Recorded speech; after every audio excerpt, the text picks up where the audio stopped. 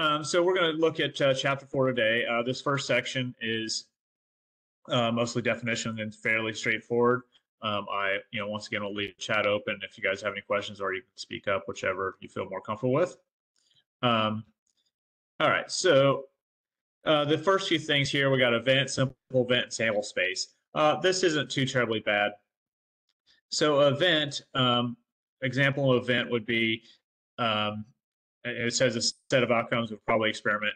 So that would be, say we have a pair of die and we're trying to roll um, a sum of four, okay?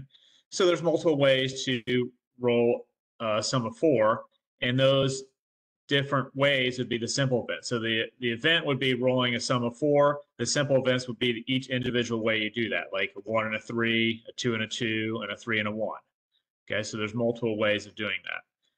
And then we have a sample space, and that's a set of all possible outcomes. So if we had we're rolling a pair of die, we could have a one and one, one and two, one and a three, one and a four, one and a five, one and a six, two and a one, two and a two, two and a three, so forth all the way to you know six and six.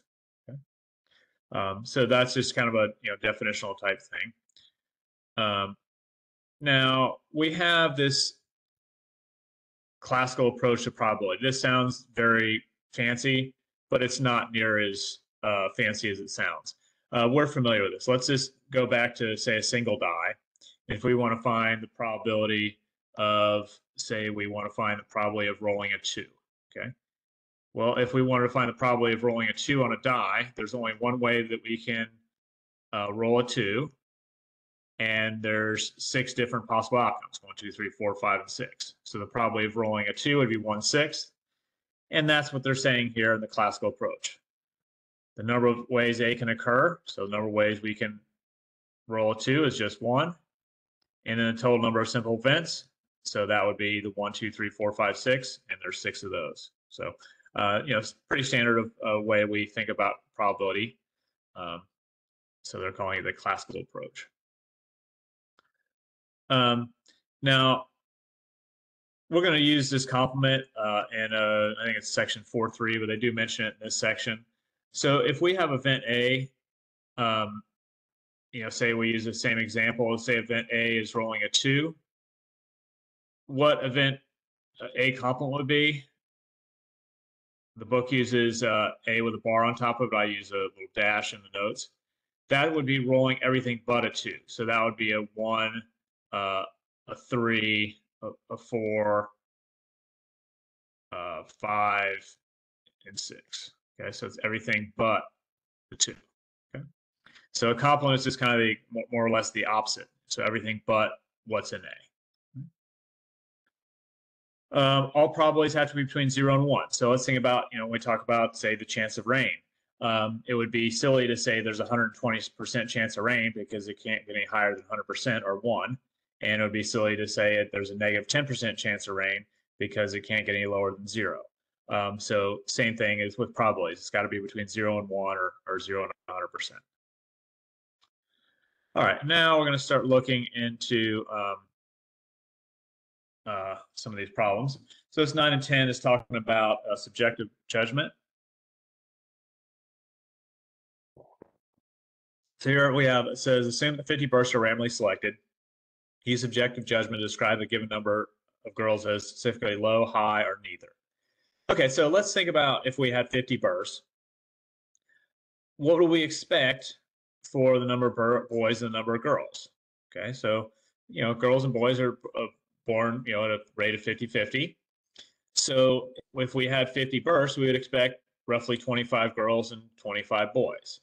So if we had 50 births and we had 47 girls, we would, would you consider that specifically high, low, or neither?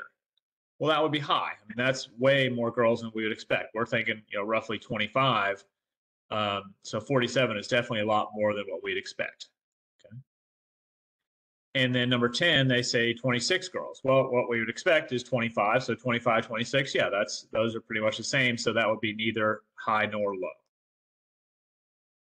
So what they're trying to to get us to start thinking about this problem is where we change from significantly uh, high or low to neither.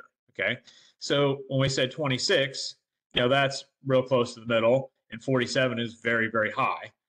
There's obviously a, a, a change uh, somewhere where it goes from neither to significantly high. Is that going to be at 28 girls or 30 girls or 32 girls? At some point, we're going to go from neither to significantly high. We haven't learned all the, the ways of doing that yet. Um, but that's what this problem is kind of building towards. You know, uh, this is you know giving us two extremes, but as the course goes on, uh, we will uh, define that you know more uh, precisely. Okay, um, now this table four one, we have uh, this results from a uh, drug test for job applicants, and we have you know, two groups that the subjects uh, are using and then non-users, and then whether they got a positive test or negative test result when they took the drug test. Okay. We're going to use this for uh, several problems today. Um, so let's see what they ask us about this. So this number 22, it says find the probability of selecting some, someone who got a false positive. Okay.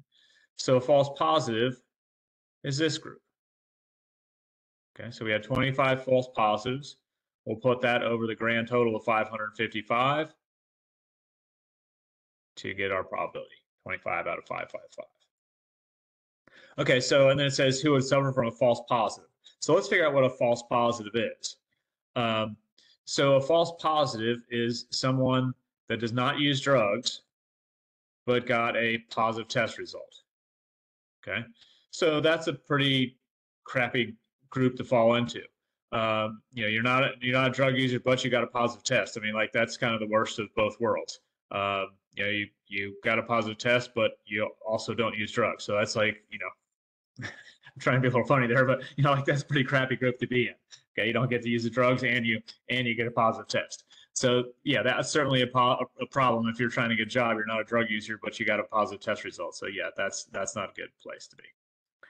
All right, and then uh, 24, it says find the probability of selecting someone who does not use drugs. Okay, so here when we say do not use drugs, that's everybody in this row. Okay, so it's not just one, it's everybody in that row. So we would take that row total of 505 and put it over the grand total of 555. Okay, so everybody in that row over the grand total. All right, any questions on that one? Are those two? All right. Now we have the birthday problem. So uh, we're talking about guessing birthdays. Um, on their first date, Kelly asked Mike to guess the date of her birth, not including the year. Okay, so they're on the, these. This two people are on their first date, and they're trying to. Um, the guy's trying to guess the girl's birthday. Well, obviously, if they're on the first date, they probably don't know a heck of a lot about each other. So the first question is, what is the probability that Michael guessed correctly? Well, whoops, I didn't mean to do that. Um, the uh,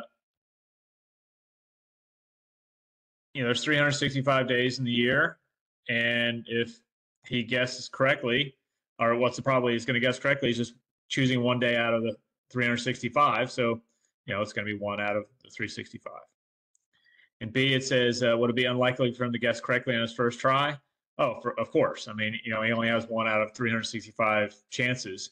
Um, so yeah, that would be pretty lucky to to guess that. And then C, it says, if you were Kelly and Mike did guess correctly on his first try, would you believe his claim that he made a lucky guess, or would you convince he already knew? Um, well, I mean, he probably did a little research before the date. You know, he might have got on Facebook or Instagram or whatever, figured out um, when her birthday was. Uh, so he probably did a little pre uh, pre date uh, research. Um, and then D is kind of a, a silly one.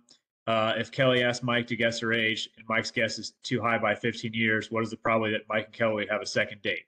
Okay, so if he guesses her age too high by 15 years, probably not a very good chance of a of a second date. Okay. All right. All right. Now, um, here we're talking about odds. Um, so let's see what we have here. So they say a modified roulette wheel has 40 slots. One slot is zero, another is double zero, and the other numbers are uh, 1 through 38, respectively. Um, you're replace you're replacing a bet that the outcome is an odd number. Okay, so let's see how this is set up. We have these numbers 1 through 38. Obviously, half of those are odd, half of them are even. And then we have this 0, double 0, and those don't count as odd or even. Okay, so if we have 38 numbers, uh, half of them are odd, so that would be 19 of them would be odd. So the probability of winning is the 19 odd numbers over the grand total of 40 slots. Okay, so nothing new there. Um, now we're going to change that into odds. So this B, it says, what are the actual odds against winning? All right, so we can go odds for or odds against. So what we're saying is we have 40 slots, 19 being uh, possible winners for an odd number. So if we have 40 slots and 19 being winner, that means we'd have to have 21 losers. Okay, so 21 and 19 will give us the 40. So when they add actual odds against, that's where we're getting the 21 to 19. 21 ways to win, 19, I'm sorry, 21 ways to lose, 19 ways to win. Okay. So we're just kind of changing the form of the probability of 1940s, uh, and we're taking the number of ways to lose it to the number of ways of winning. If they add ask for odds um, for winning, it would be 19 to 21. We just switch the order. All right now, it says when you uh, bet that the outcome of an odd number, um, the pay, uh, payoff odds are one to one. Okay, so one to one means that you, every time you bet a dollar, you get a dollar back if you win. So when they ask us how much would profit would you uh, make if you make a $16 bet and win, it would the payoff would be 16. It's just one to one. For every dollar you bet, you that's what you win. Okay. Now, this D, uh, it says how much profit should you make on the $16 bet if you could somehow convince the casino to change this payoff odds so that the same as the actual odds against winning. So let's let me explain what they're doing here, or what they're asking. So they're telling us that the payoff odds are one to one. So, you know, if the game was uh, fair, meaning that you know the actual payoff should be one to one, um, it would be more like you know flipping a coin. Say we had a game, if we uh, flipped a coin, if it landed on heads, uh, you guys gave me a dollar. If it landed on tails, I would give you a dollar. Okay, so we would play that forever. I mean, sometimes you guys be up a little bit, and sometimes I'd be up a little bit, but overall it's going to be even because you know coins 50-50 and we're just giving the dollar back and forth each time this game is not quite fair because we have these two zero and double zero that are the house wins. So if you you know um, bet odd or even, that's great. Except if it lands on zero or double zero, the, the house wins both the odd and the even bets, and nobody gets any money. Everybody loses except for the house. Okay, so those are the, the house numbers. So what they're doing here is saying, okay, how much should they pay you if the game was fair? They're, the casino's never going to do that because that's where they're making their money. But let's figure out, you know, what they would do. So if we made a $16 bet and they paid us, uh, you know, fairly, we would take that odds against winning, this 21 19, put that in terms of a fraction, so 21 over 19 times 16, and they should pay out to be fair 1768. Okay. So obviously they're not going to do that because you know that's that a dollar sixty-eight more is where they're making their money. So they don't want to do that. Okay. Questions on that? I won't have too much in odds. They just actually entered this, uh, just added this back to the course this term. Um, I have a you know a few problems in the homework and maybe you know one or two on the quiz, but not not very much at all. Uh, I Um, have a question on Sure. the, what are we doing to make sure that the odds are um equal? Say, can you say that one more time? And on option D, what are we doing differently to get that number 1768? Okay, so what they're just trying to say, if you know the the house is what they're saying is the house is paying one to one odds, um, but that is in the house's favor. They should actually be paying a little bit more because, um, uh, well, if if, if they wanted to be fair, um, because we have these numbers one through thirty eight, And if we just had those numbers and we're betting odd or even, then paying off one to one would be correct or fair, I should say, not correct, fair. But they added these upper, upper uh, other couple numbers that are neither odd nor even, and that's where the house makes their money. So if you you know walk in there, you and I walk in there, and you bet odd, I bet even, it lands in zero or double zero, we both lose, and the house wins. So what they're saying is, um, you know, this Diaz is how much profit should you make on the 16th bet if that if you could somehow convince the casino to change the payoff odds so that they're the same as actual odds against. So what that means is making it fair. So since there's a this slight advantage to the house, there's 21 ways to lose and 19 ways to win. That favors the house. So we have to take that in consideration. We have to pay in that same ratio. So we take that 21 to 19, which is you know the, the favors the the house, and multiply by whatever we're betting to get that 17. So if they wanted to be fair, um, it would be 1768 that they pay out. Does that Yes, that Makes makes sense. sense. Thank you. Okay. Um, that's basically how the um, the uh, uh, casino makes their money. So all the games they have are slightly in their favor, so that they're making a little bit money here and there, and you know over time they make enough to stay in business and do quite well. Okay, so they know exactly how they're going to do over time. Okay, so let's look at uh, 4.2. So um, now we're going to start looking at more of the heart of the, this chapter, and we're going to start seeing some key words um, and phrases. And when I have these keywords and phrases in the notes, I've highlighted them or made them bolder in caps or some of all of it. So this first thing, when I you know have this keyword for using addition rules or as bolded and capitalized and exclamation points, there's a reason for that. Okay.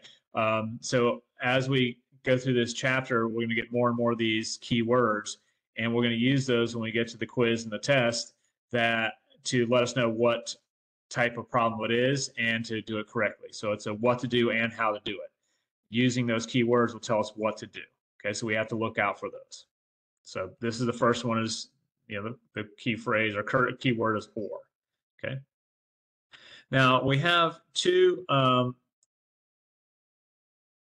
formulas for the uh, addition rule. Uh, this first one, uh, the A plus, probably of A plus probably B minus the probably of both. And then if they're mutually exclusive, this is going to be the probably A plus the probably of B. Okay. If they're mutually exclusive or disjoint. So we have to figure out if they're disjoint or not to determine which formula to use. Okay. So what we're going to do is we're going to figure out what disjoint means. And then we'll go back and we'll do an example of each one of them and see uh, what the difference is. Okay. So this mutually exclusive disjoints is two events that cannot occur at the same time. All right. So let's look at an example that that would be disjoint and then not disjoint. So this first one are be disjoint. So look at these two events: uh, riding a bike and driving a car. Can we ride a bike and drive a car at the same time? No. Okay, that's that would be ridiculous. So we can't drive a car and ride a bike at the same time. So those are two events that are uh, that don't overlap. They're disjoint. Okay? Now let's compare that to the second set of events, driving a car and texting. Okay, we have people that drive a car, we have people that text, and then we have that overlap that both drive a car and text, which we're not supposed to do, but it's happened once or twice or every single day. Okay, so again, riding a bike and driving a car cannot be done at the same time. Driving and texting, even though it's illegal, it does happen, and there is overlap there. Okay, so those would be uh, uh, would not be mutually exclusive or disjoint. Okay. All right. Um, now let's see how that plays into doing these problems. So we have um, our drug test again. In example A, says if, if one of the test subjects randomly selected, find the probability that the subject had a positive test result or a negative test result. Okay, so we have our positive test. There's our keyword of or, or negative test result. Okay. So for the um, the first thing we have to do is figure out if these are uh, disjoint or not. So if we take a drug test, can we have a positive test result and a negative test result of the same test? No. Okay, we can either have one or the other. We can't have both. So these would be um, mutually exclusive or disjoint. Okay. So that tells us to use um, that second formula. That is um, the probability of A plus the probability of B. In other words, probability of a positive test plus the probability of a negative test. So if we look at the positive test, that's everybody in this column. Okay. So we have 70 there over the 555 in the total grand total. So that's where this piece comes from. And then the probability of a negative test is everybody in the second row, or second column, sorry. So we have the 485 over the 555, which comes up there. Now, if we add those two together, we get 555 over 555 or 1. Now, let's think about if that makes sense or not. So what we're asking, what's the probability of having a positive test or negative test result when we take a drug test? Well, those are the only two outcomes. You either have to have a positive test or a negative test result. So therefore, the probability of that occurring is 1. It's, it's 100% because those are the only two options. Now let's compare this to um, this. See if I can fit all this on one screen. Not really. Okay. Let's look at example B. It says if one of the test subjects is randomly selected, find the probability the subject had a negative test result or does not use drugs. Okay. So again, we have our OR. So the OR is our red flag for addition uh, rule. Now in this case, we have to again see if these are disjoint or not. So we have a negative test result and does not use drugs. All right, so let's think about that. If you're a non-drug user, uh, would it be possible to have a negative test result? And the answer is absolutely. I mean, that's what should happen. If you're not a drug user, you should have a negative test result. So those definitely should, uh, or definitely could happen at the same time. Okay. So these um, are not mutually exclusive or disjoint. So we have to use the other formula. Okay. Now, um, so that comes out to find the probability of a negative test does not use, and then the probability of minus the probability of both. All right, so let's go up to the table to figure that out. So we got negative test and does not use the first thing. So we have probability of the negative test result, which is everybody here. So that's the 485 over 555. Okay. And then um, they want us to find the probability the subject is not used, which is everybody in this row.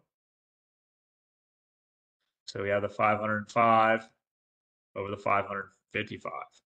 Okay. So we have those two so far. Okay. And now the last piece, they want us to find the probability of a negative test and does not use. So when we say the probability of a negative test and does not use, that has to be both. Okay, so that's his 480.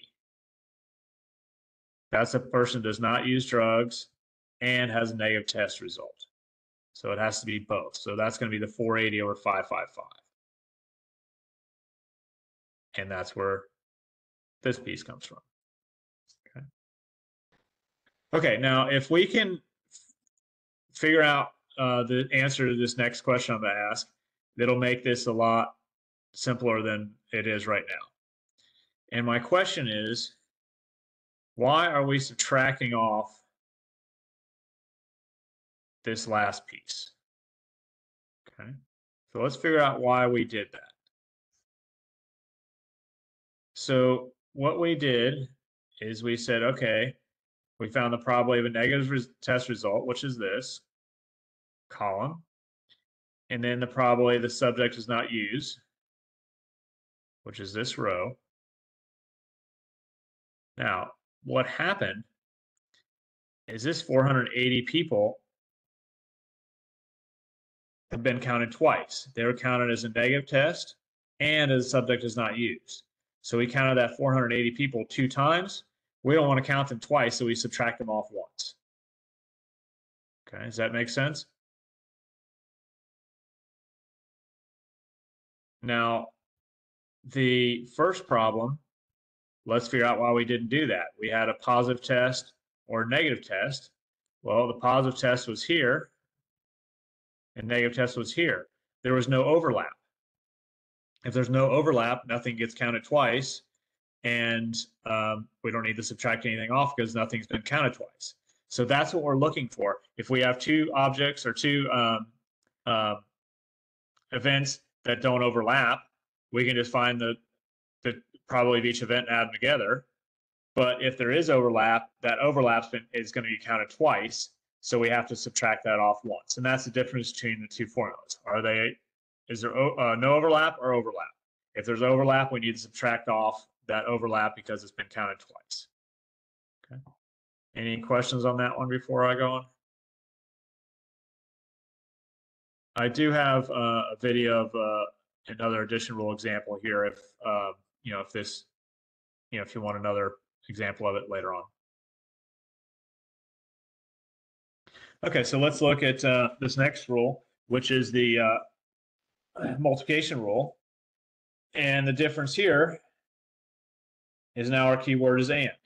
So we looked at or, and or rep, uh, represents or um, red flag for additional uh, addition rule. Now we're talking about and, and that's the keyword for multiplication rule. Okay. Once again, we have two formulas. One of them when they're independent, which is the second one, and the top one is when they're dependent. Okay, so this is when they're dependent. Okay. Um, now, we got to figure out what the difference is between independent and dependent, what, what that means. And that will tell us which one of the cases to use.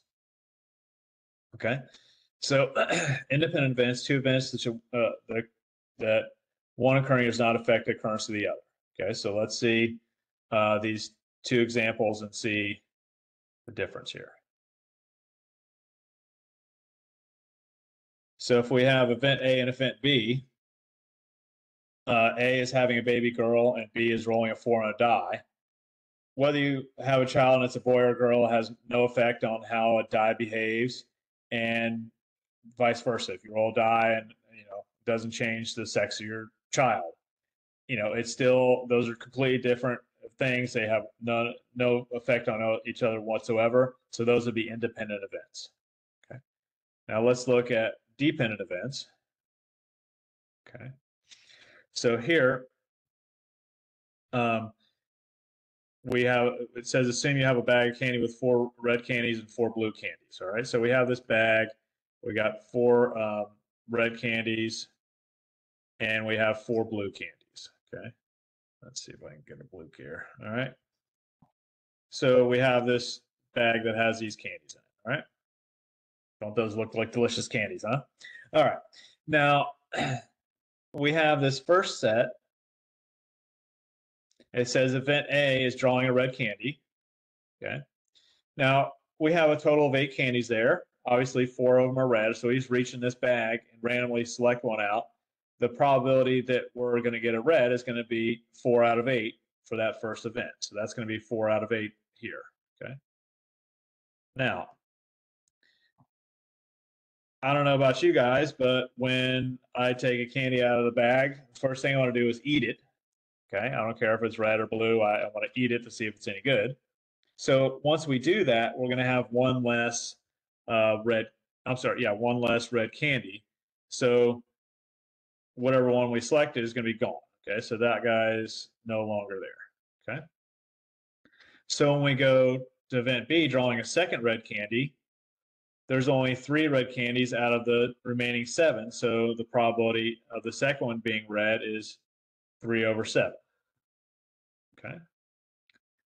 Now let's start all over and do that again in the second example. Okay, so we have our four red and our four blue. Okay. Now the uh, event A is drawing a blue candy. Okay, so the probability of drawing a blue candy is 4 over 8. Okay. Now, when we draw that blue candy, we're going to do the same thing. We haven't tried a blue candy yet. It's got to be delicious, so let's try it. Now we have one less candy in the jar. So when we go to event B, the probability of drawing a second red candy, we're going to have four red out of the seven So it's going to be four sevens. Okay, now notice that these two probabilities, the three sevenths and four sevenths, are different.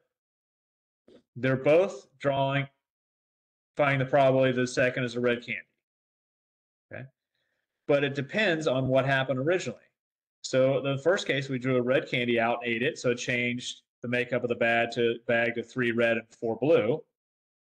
And the second time we did it, we drew out our blue candy first, which left us with four red and three blue, or seven out of seven. Okay, so it depends on what ha- what's happening first to figure out what the probability is occurring to the second one. Okay, so if we take a red one out first, we have one less red, so we're we're heavy on blue. And the second one, if we drag a blue out uh, first, that's going to eliminate one blue, so we're heavier on red than blue. Okay, does that make sense, everybody? Why that matters? Any questions on that? Okay, so when they say dependent, this in this case, it depends on what happened previously. All right, so let's see how this um, plays out when we go to our drug uh, test example. so uh, it says if two of the 550 test subjects randomly selected, find the probability that they both had false positive results. So we have both false positives. Now, the word and is not used, but it's inferred. Okay, so when they say both false, both had false positive results, that means the first has to have a false positive and the second has to be a false positive. So, you know, the, the keyword and, it can be stated or implied. In this case, it's just implied. Okay? All right, so the first part of it here is it says, says it's two, uh, assume the two selections are made with replacement. All right, so let's look at with replacement. With replacement means that it's independent. So let's think about our candy candy example. If we pulled a, a candy out of the bag and whatever it's red or blue, it doesn't matter, and we put it back in the bag, that would be with replacement. We'd still have the same number of red and blue. We'd still have four red, four blue. Okay, so anytime we do with replacement, it doesn't matter what we take out as long as we put it back in, the makeup of the bags remains the same. Okay. And that's what we're doing here. So anytime we see with replacement, that means independent. So we can use our our um, our independent formula, which is just the probability A times the probability of B. So we want to find the probability of a false positive, which is 25 out of the 555. So that's where that comes from. Okay. Now we're putting that that uh, false positive back in there. So the makeup of the bag or makeup of the table is exactly the same. So when we try to find the probability of the second one being a false positive, it's the same thing. It's 25 over 555. So we have that again. And that comes out to be 0.002029. Um, on the homework and quiz, quite often they'll ask, um, is that likely to or unlikely to occur? And our cutoff is at 5%. So if it's less than 5%, we're going to call it unlikely. If it's greater than 5%, likely. Okay, unusual, unusual, however they, they state it. All right, now let's do the same problem. But now it says the two selections are made without replacement.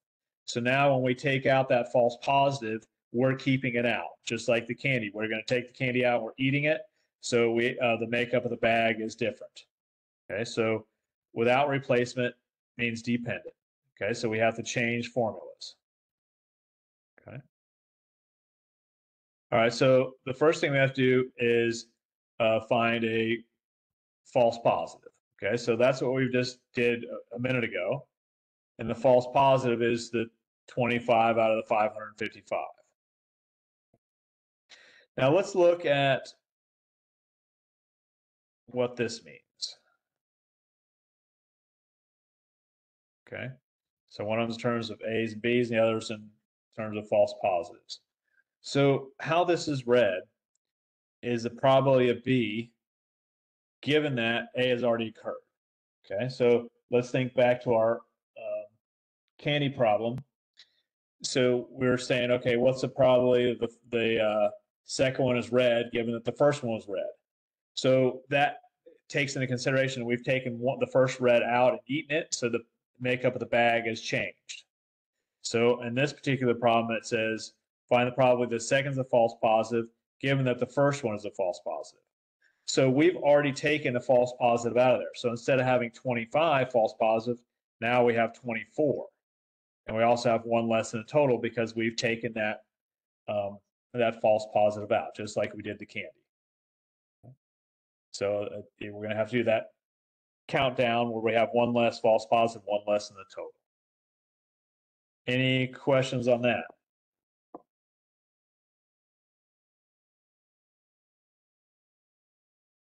Okay, So good. it seems like I'm I'm sorry.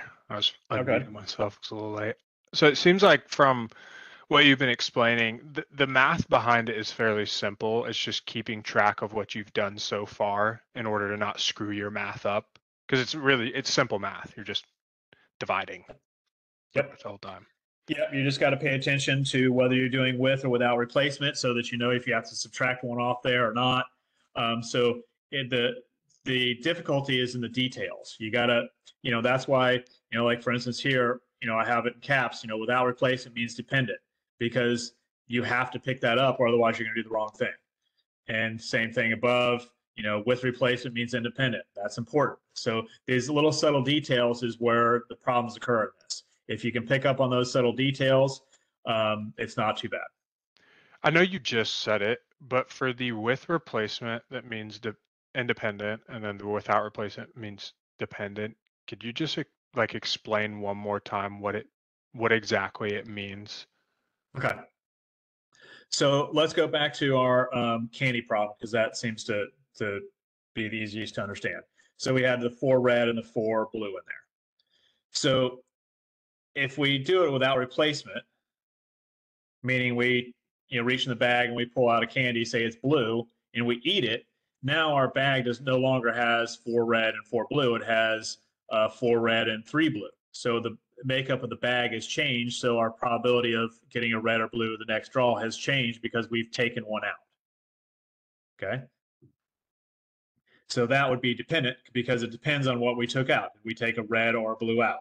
So that changes the makeup, and you know one is heavier than the other after we take uh, take that one candy out. But if we just replace it, it doesn't matter if we take a red out first and put it back in, or a blue one out and put it back in. We still Oh. have four red, four blue, so it doesn't really matter what we take out as long as we put it back in. Okay, that yeah, that makes sense. The the without replacement and with replacement part was tripping me up a bit, but that makes sense. Okay, I understand. Yeah, yeah, it's just a matter, you know, have you changed the makeup of the bag or not? You know, so it depends on if you put it back in or not. Got it. Thank you. And that's what we're doing here. So here it says, you know, two selections with replacement. Um, and here's two selections without replacement. So that's, a, you know, it's same thing. Are we eating the candy or are we putting the candy back in? Yeah, I'm gonna assume the with replacement is specific to what it's asking you about. So if it's asking you specifically about the false positives, the with replacement is going to be specifically the false positives being replaced. Uh, not, not necessarily, um, because let's look at, um, you know, like here we're drawing a blue candy and then the second one was a red candy. So it doesn't necessarily have to be the same thing. It's just does the ba- the makeup of the bag change or not? Okay, yeah, I got it. Okay. So, you know, like here it was, you know, the first one was red and red. So that's one, fine, but the second one was blue and red. So it, it can be either way. It's just long, you just got to keep track of what happened first. How did you change the makeup of the bag? Understood. But your, but your instinct, um, as far as the problems you're going to see in the book, yes, it'll, it'll almost always be the same thing that you're talking about in the first draw. All right. Um, all right. So let's see this acceptance sampling. Um,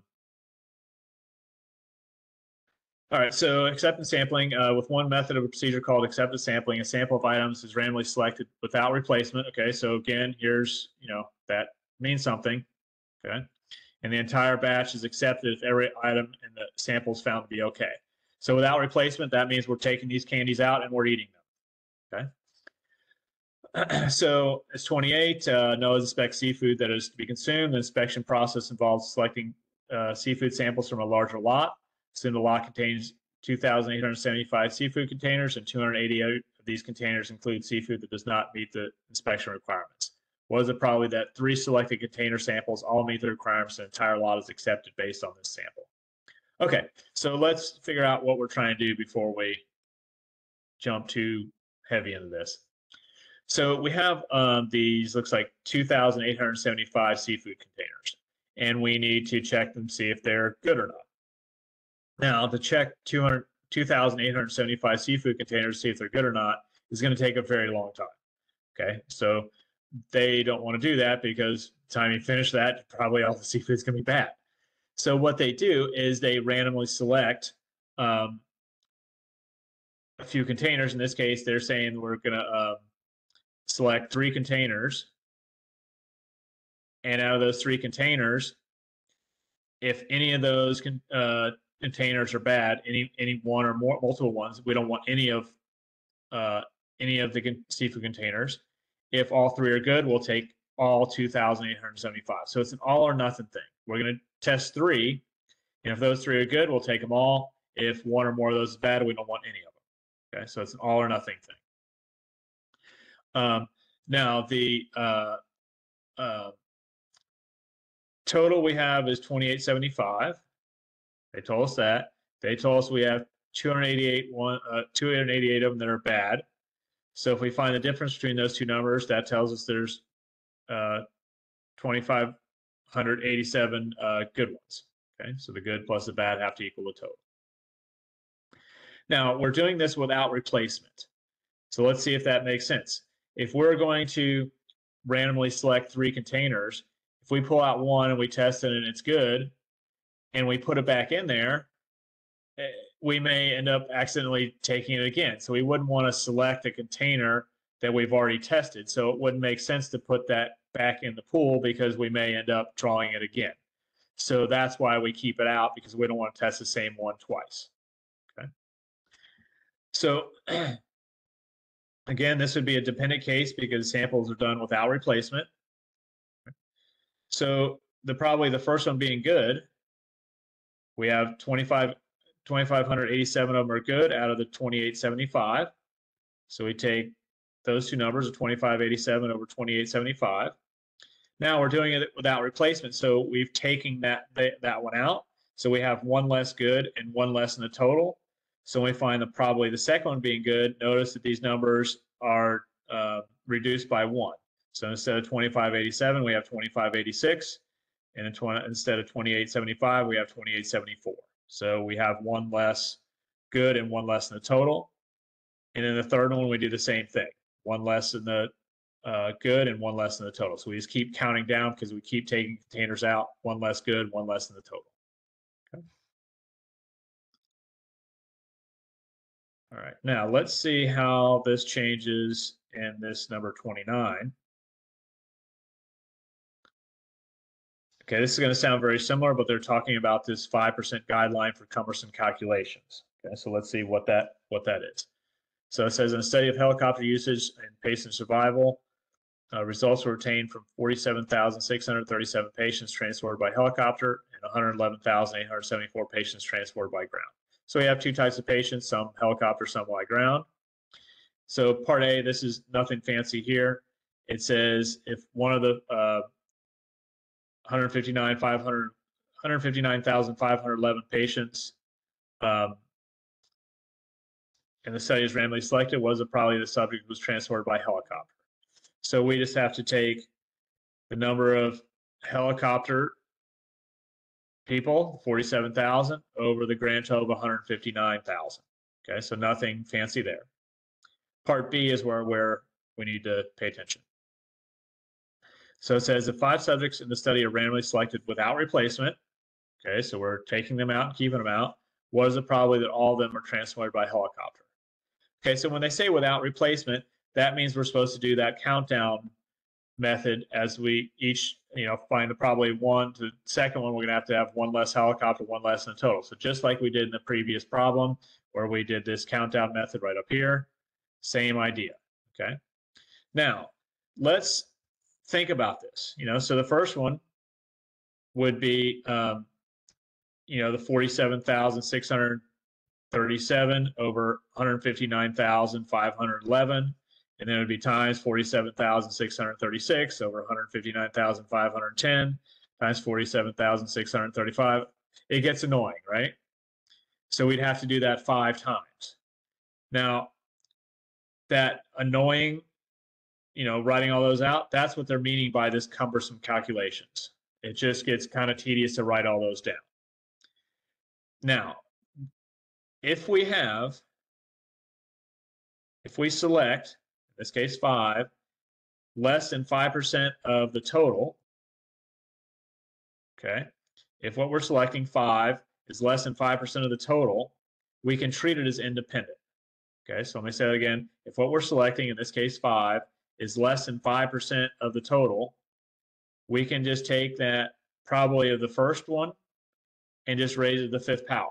And we can find the calculation much easier rather than do that countdown. Because the countdown and not doing the countdown almost comes out to the same answer. So we can kind of cheat and not have to do the you know cumbersome calculations and still get an answer that's pretty dang accurate. All right. All right, now we have uh, complements and conditional probability. So we talked about uh, complements. You know, I think I said uh, if event A is rolling a two, then a complement would be rolling a one, three, four, five, or six. Okay, anything but that. Now let's look at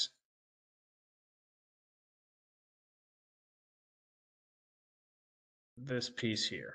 Okay, and what that says is the probability of A plus the probability of A complement is always equal to one. So the example I just gave was the probability, uh, the event A was rolling a two.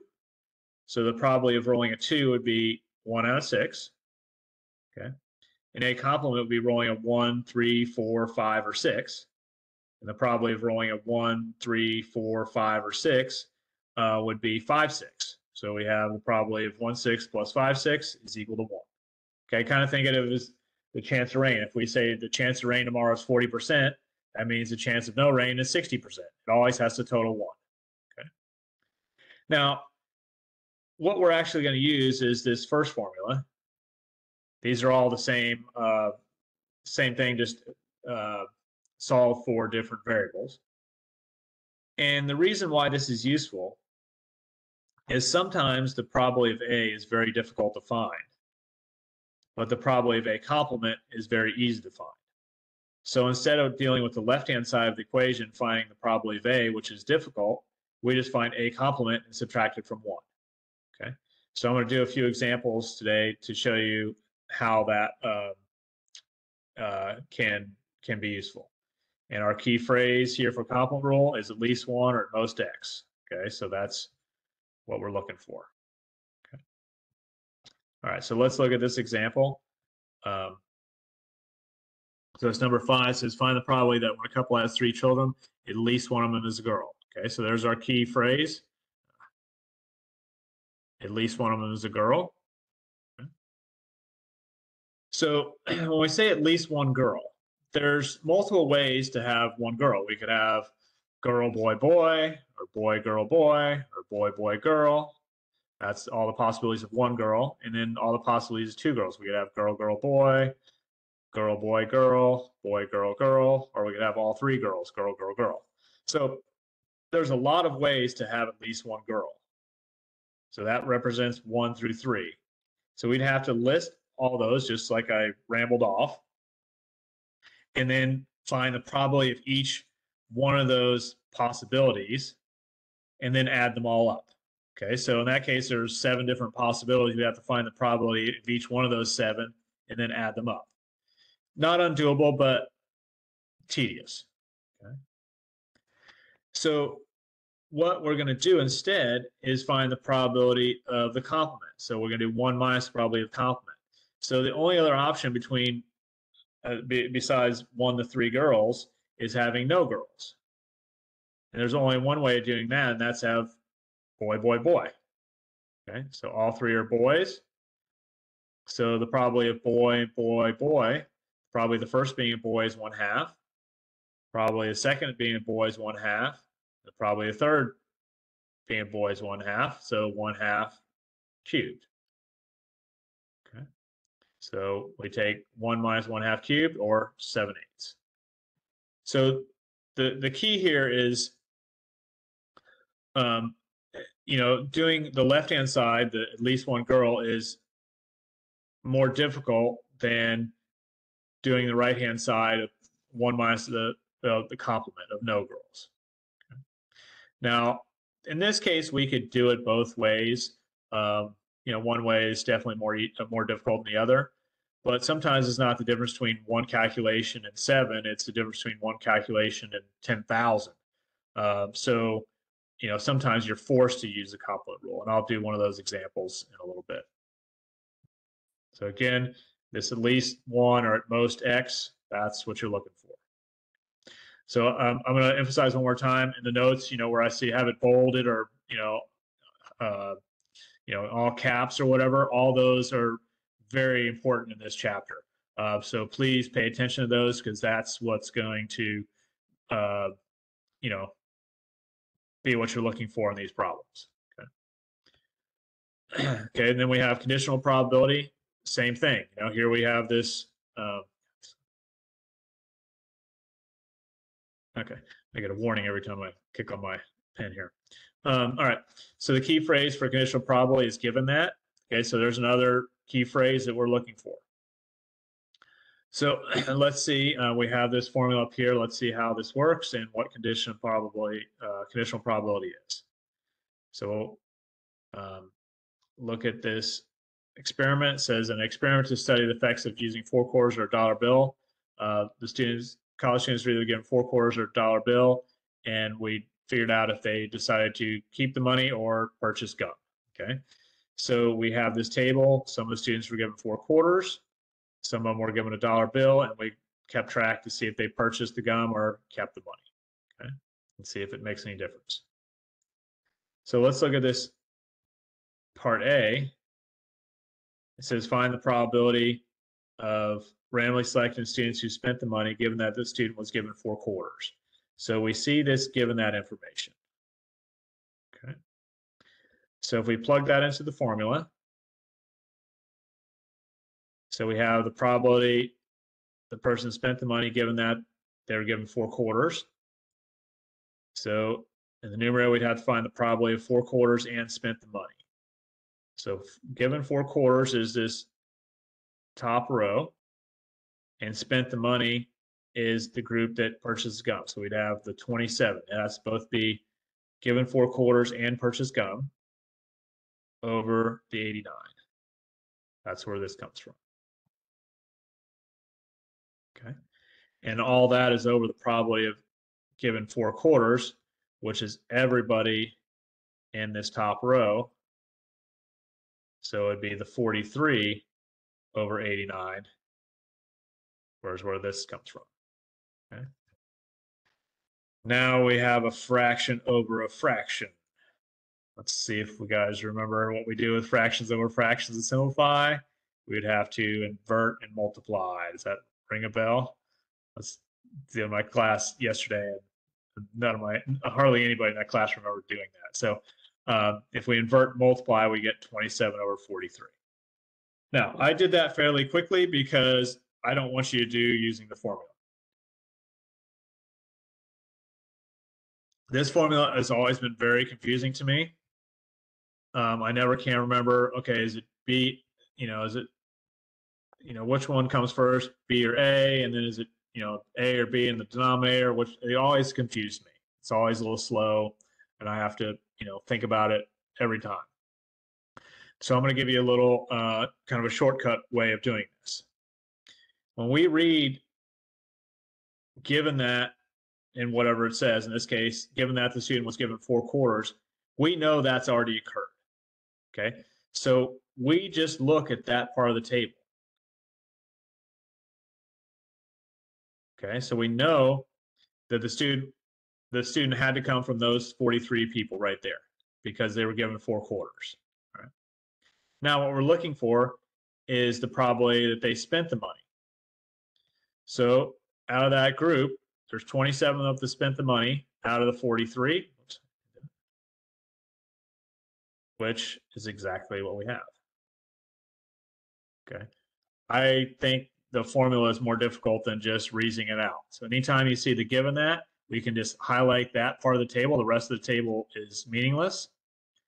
And then we can say, okay, out of those people are given four quarters, how many of them spent the money? 27. How many is there total? 43 done. So I would highly recommend doing it that way. So B is very similar. It says uh, find the probability of a student who kept the money, given that the student was given four quarters. Okay, so we want to kept the money given they're given that they're uh, given four quarters. Okay, so we know that they came from this top group because they were the only ones that were given four quarters. And how many kept the money? 16 out of how many? 43. And we're done. Okay, so 16 over 43. So again, I highly recommend that one, doing it that way. All right, now this one, um, this problem, uh, I'm not going to kid you, this one's hard. Okay, uh, if you have questions, please ask. Uh, the first time you see this in the homework, uh, you'll probably cuss me a little bit because it is a little confusing. So I'm going to, you know, try to go through this in detail and, um, you know, make sure you refer back to this when you see one like this in the homework. All right, so we're talking about uh, water samples here, composite water samples. so the Fairfield County Department of Public Health, Health tests water for the presence of E. coli bacteria. To reduce laboratory costs, water samples from 10 public swimming areas are combined for one test, and further testing is done only if the combined sample tests positive. Based on the past results, there's a 0.005 probability of finding E. coli bacteria in a public swimming area. Find the probability that a combined sample of, from 10 public swimming areas will reveal the presence of E. coli bacteria. Okay, so let's kind of define what we're doing and then attack this. So, um, you know, these people have to go around and sample water from 10 different public swimming areas. Okay, so let's pretend like it's, you know, our job and we have to, you know, get up in the morning, we drive around these 10 swimming areas, we take a, you know, sample of water, we put it in the back of the truck and go to the next one and drive around. And then we got to go back to the lab and we have to test these for uh, E. coli. So we have these 10 jars. And one option is to test each individual jar which probably takes some time, money, and effort. But the probability of actually having E. coli in the water is only 0.005. It's not very high. So what we're trying to do is see if we can save time and money and take water from each one of those 10 jars and put it in an 11th jar. Okay, so basically combine those 10 samples, right? Save a little water in each one of them. So if we need to do further testing, we have it. We don't have to drive around again, but you know, basically take whatever half the water out of each jar and put it in a, in a 11th jar. Now, if we test that jar and it's test negative for E. coli, that means all 10 of them had to be uh, E. coli free. And if that's the case, then we go home early. But if it tests positive, then obviously um, we have to go back and figure out which one or ones of the swimming areas actually had E. coli. So we'd have to go back and test each one of those 10 samples to figure out which ones have E. coli. So their question is, what's the probability of a sample testing positive? Okay.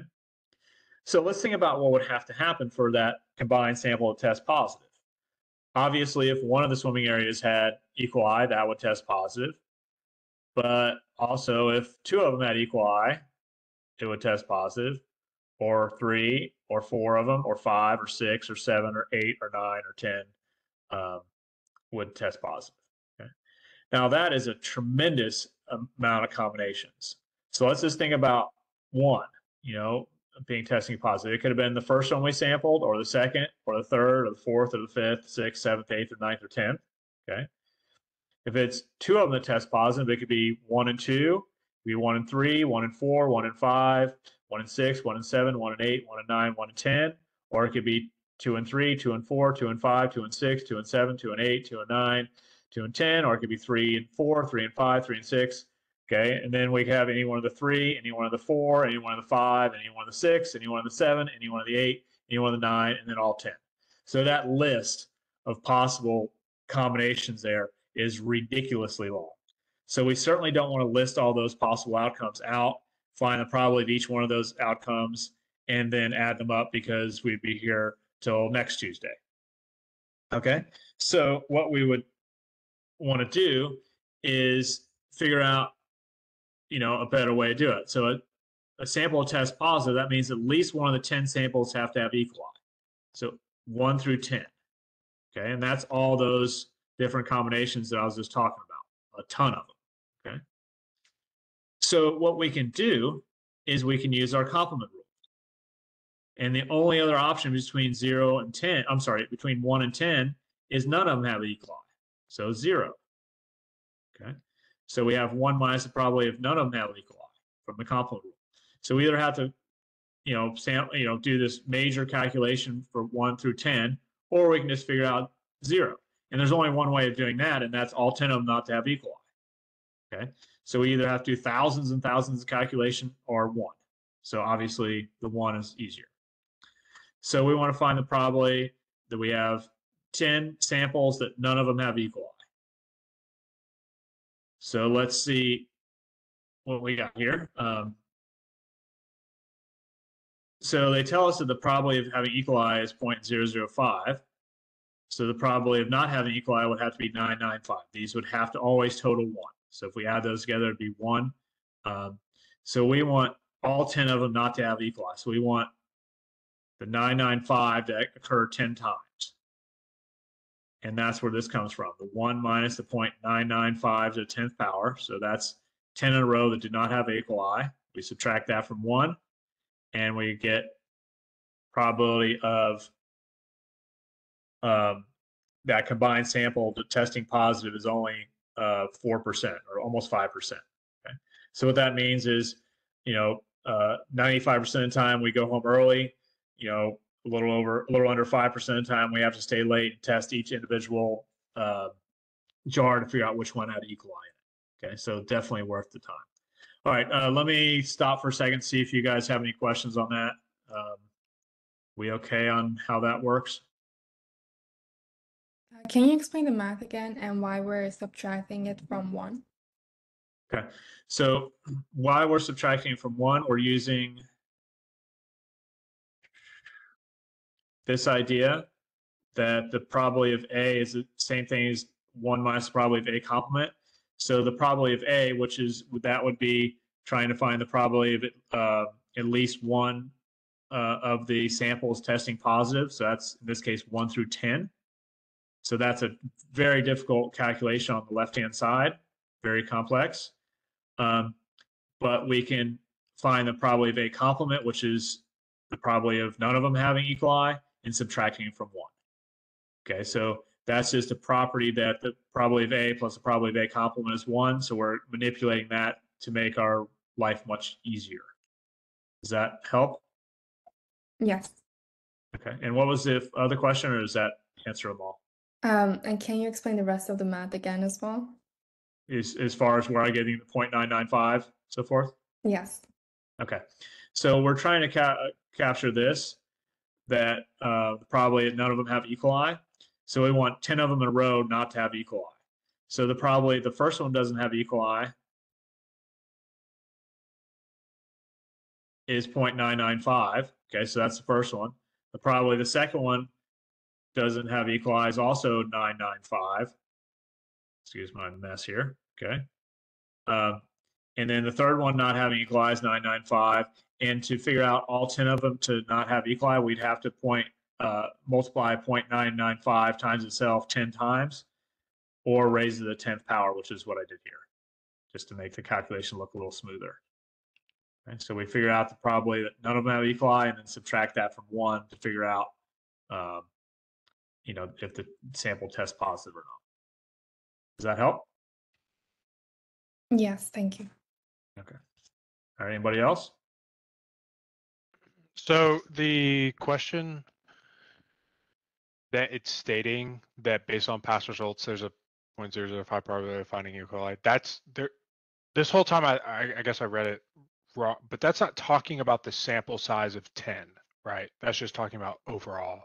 even That's just random- yeah, that's an individual. So you know, you know, over the years that you've been doing this, uh, when they take a water sample, regardless of where it's taken, the you know chance of having E. coli is low, 0.005.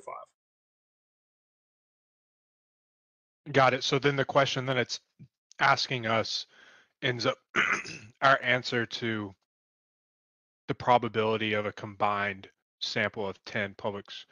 They don't have E. coli. The probability of all 10 not having E. coli is 0.0489. Right. Uh, uh, yeah. The, the combined sample. Uh, if we, yeah, all that's a that's. I'm sorry. What, what, ask that question one more time.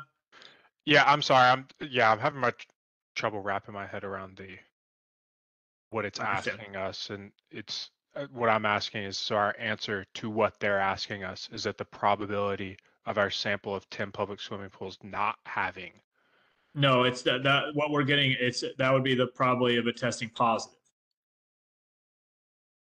Okay so the probability of us having 10 in that sample size and that sample size testing positive is 0.0489 Correct. got it okay so okay, even even if we combine even if we combine 10 samples, the probability of it testing positive is still pretty low. It's Got it. less than five percent. okay okay i understand So and that and that, so what we know what what that's telling us that it's that it's worth um, combining these ten samples because you know most of the time uh, we're going to get a a uh, negative result and we can go home early because all, we know all ten of them are are E. coli free, so we get to home go home early rather than testing each individual one of them every Right. afternoon. Yeah, got it Okay. So basically, five percent of the time we have to stay late and test each individual one, and a little over ninety-five percent of the time we get to go home early, which sounds lovely. Okay. All right. We good? Question? Other questions?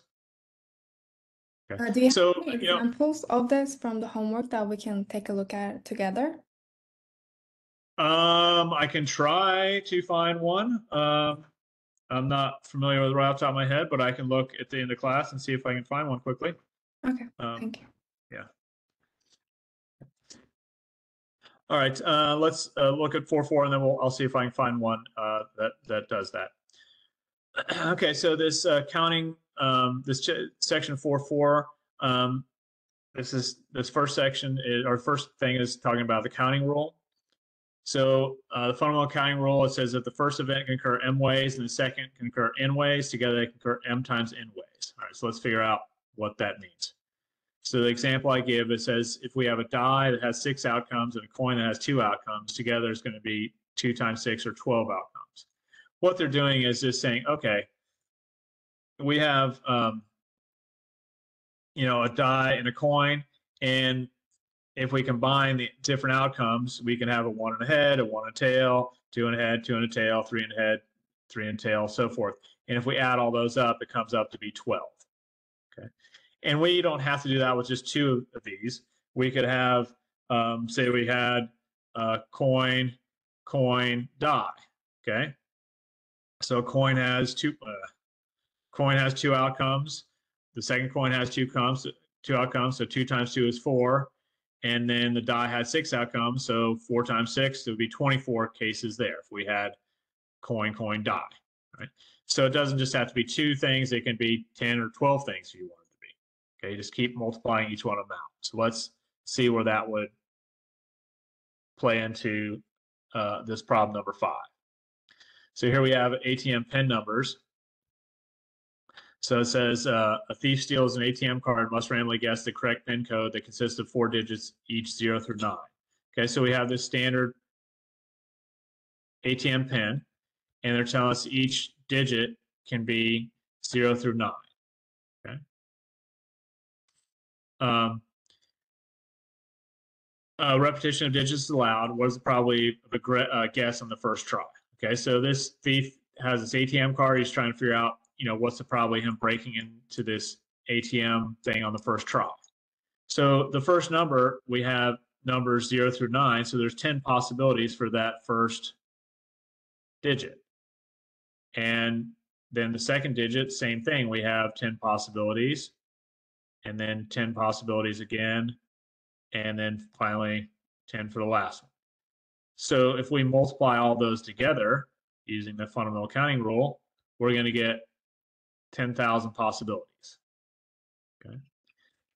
out of those 10,000 possibilities, there's only one that's the correct one. So the probability of guessing and getting it on the first try is one over 10,000.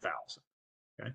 So the fundamental counting rule tells us the number of uh, possibilities, and then we can find the the uh, probability of uh, guessing after that.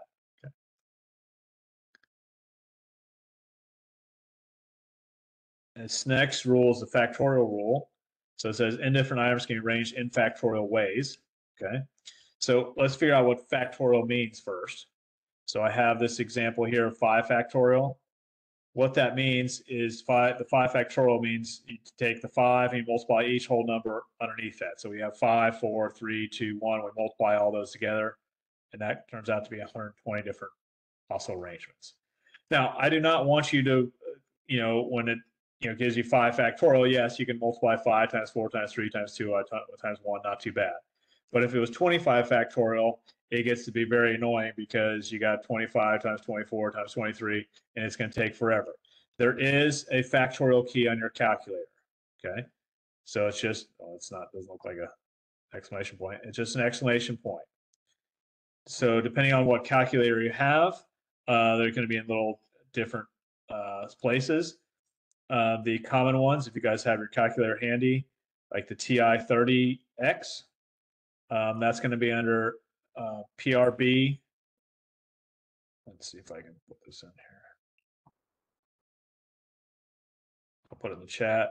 So for the uh, the TI 30, uh, you would hit uh, five PRB and then exclamation point.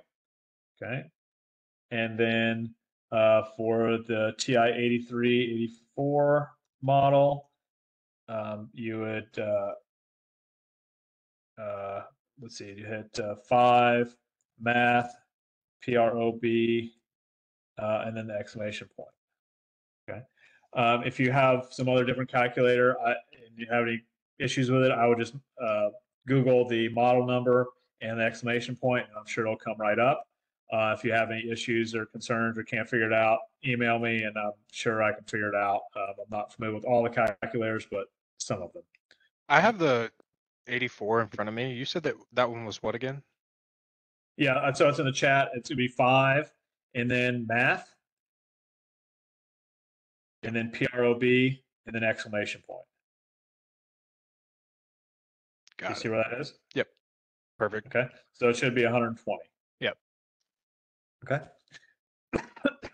All right, so let's see where this is uh, would be useful. Um, so this number nine is talking about grading exams. It says your professor has collected eight different statistics exams. If these exams are graded in random order, what is the probability that the, they are graded in alphabetical order of the students that took the exam? Okay, so if I only had eight students, um, you know, and gave a paper exam, and uh, they start turning them in, you know, obviously any one of the eight could turn the the uh, exam in first, and then he or she leaves, and then any one of the remaining seven could turn their paper in, and they leave, and then remaining six, any one of them, so forth. So that turns out to be eight times seven times six times five times four times three times two times one, or eight factorial. Okay.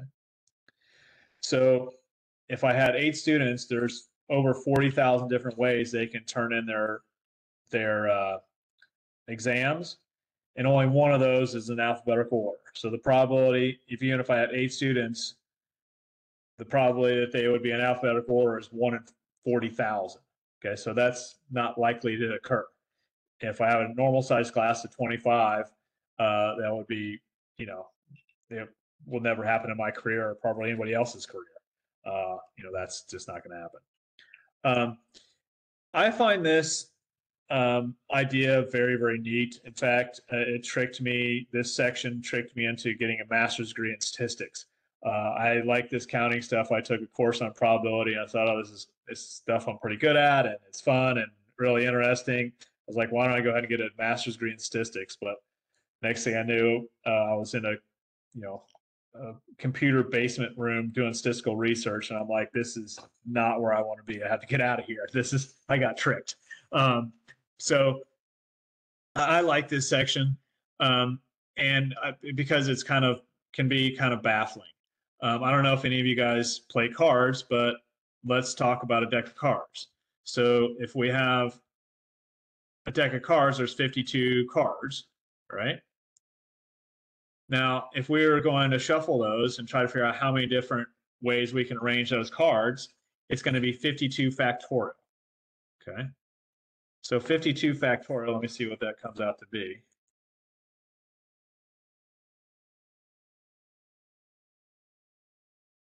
Is 8.06, we'll just say 8, times 10 to the 67th power.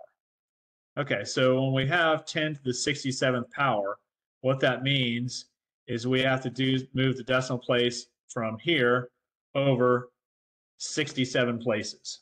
Okay, so that that number is 68 digits long. So what that means is that if you pull out a deck of cards and you shuffle it, well, uh, not only has that deck of cards never been in that order, but most likely no deck of cards in the history of time has ever been in that. That's how many different combinations of cards are. Okay, so think about that. So of all the cards, you know, decks of cards in the world and over all the years and all the casinos and you know, blah blah blah. It's unlikely that any deck of cards after being shuffled has ever been in that order ever before. Okay, so that gives you an idea how out of control this gets quickly. Okay, and that's only 52 cards. You know, if you start raising that number more, it's you know even more insane. Okay, so I think that's kind of neat. Um, all right, so let me get back to what we're doing here. Um, so this next thing is permutation rule. Uh, notice I have order matters, and I'll come back to that here in just a second. We have two different formulas. Okay, we have um, when all items are different and when some are identical to others. So I'm going to do an example of each one of those. Notice that there is a formula for this. I don't want you to use the formula. I want you to use the, the keys on your calculator, and I'll show you how to do that in just a second. Okay. All right, so let's see um, this number 11. So it's talking about scheduling routes. It says the presidential candidate plans to begin our campaign by visiting uh, the capitals of, of five of the 50 states. If the five capitals are randomly selected without replacement, what is the probably the route of Sacramento, Albany, Juneau, Hartford, Bismarck in that order?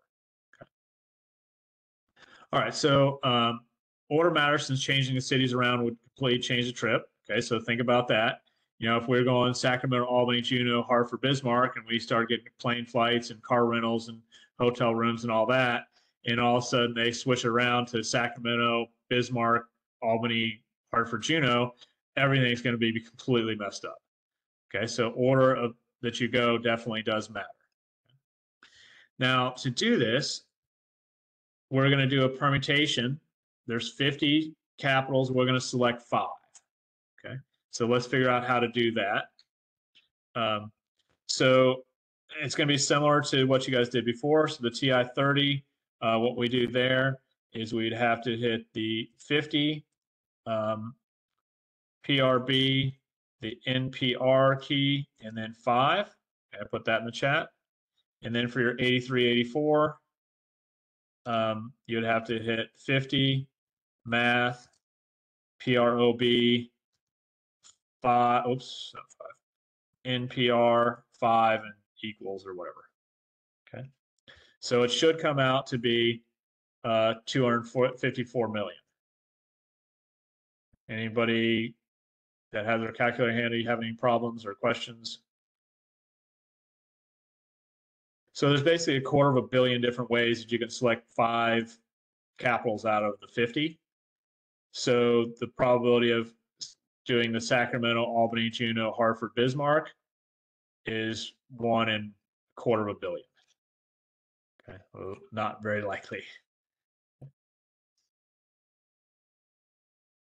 So that is an example when all items are different. Okay, because we have 50 different unique uh, capitals. Now I'm going to do an example when some items are identical to others.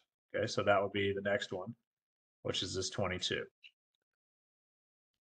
it says the classic counting problem is determine the number of different ways the letters of Mississippi can be arranged. Find that number. Okay, so notice that when we talk about Mississippi, we have some repeat letters. So in other words, if we change the letter S with S, it's still Mississippi. If we change I with I, it's still Mississippi. We change P with P, it's still Mississippi. So we have to take those combinations where we're switching the same letter with itself um, out of the possibilities. So that's where we use this new formula. Okay, and let's figure out where those come from, all those values. So we have n factorial, that's just the number of letters we have. So Mississippi has 11 letters, so that's where the 11 factorial comes from in the numerator. Now let's figure out this 4, 4, and 2 factorial. What that is, is looking at the repeats. Okay, so we have the S's, okay? We have four S's there. I can't, Mississippi's too small to draw here, right? So we have four S's, so that cor corresponds to the four factorial.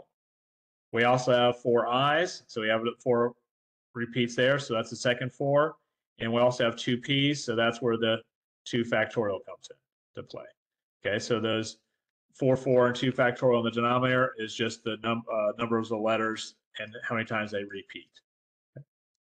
There's no real super shortcut there. You just have to use the factorial key multiple times in your calculator. Um, and we find out that there's a little under 35,000 different ways we can re rearrange those letters of Mississippi. Okay. All right, and then our last piece is our combination rule. Notice that here I say order does not matter, and I'll explain that in a second. So here with the Mega Millions, it says the Mega Millions is run in 44 states. Winning the jackpot requires you select the correct five different numbers between 1 and 75. And in a separate drawing, you must select the correct single number between 1 and 15. Find the probability of winning the jackpot. Okay.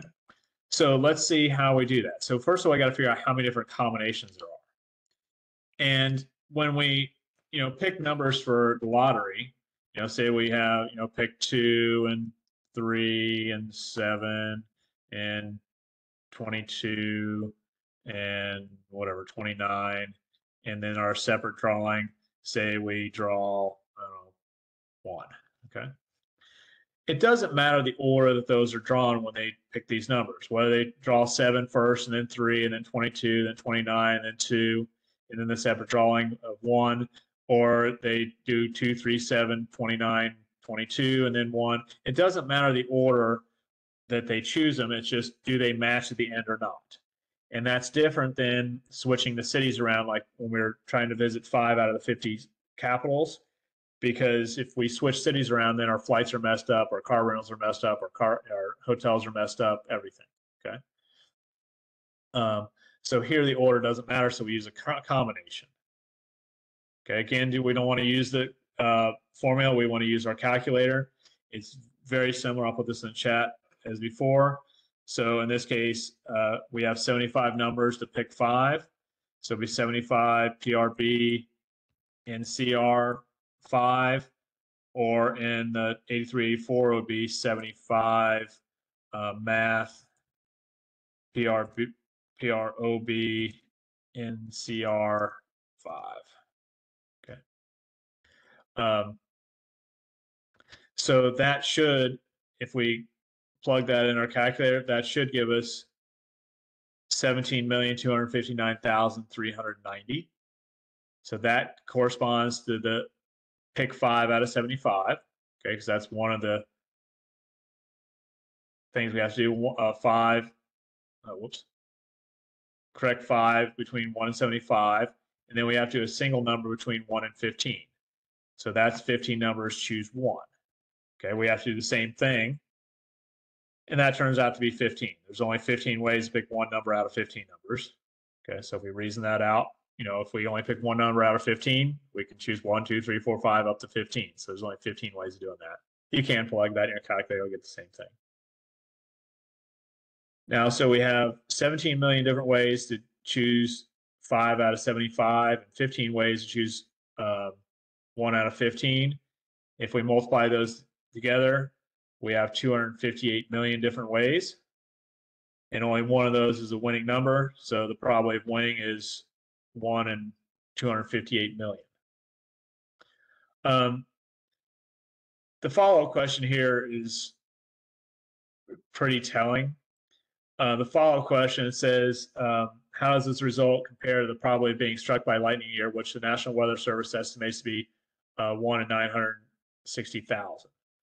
So I don't think too many of us are worried about getting struck by lightning in the next year, but it's just as likely to get struck by lightning 270 times this year as it is winning this lottery. Okay, so let me say that again. It's just as likely to get struck by lightning 270 times this year as it is winning the, this lottery. Not very likely. Okay, so I mean the uh, it's hard for humans to even comprehend how unlikely this is because things in our lifetime don't happen that unlikely, so that we don't have anything to compare it to. Okay, um, you know, I mean, think about if you heard somebody uh, got struck by lightning 270 times this year, uh, you'd be, oh, that's that's something. Um, so that's the same likelihood as winning this lottery. You know, not not very likely. All right, so let me uh, stop there. A question on Sure. the end of that, just so like I understand the math behind why, like the multiplication by 15, if per se, Uh-huh. instead of between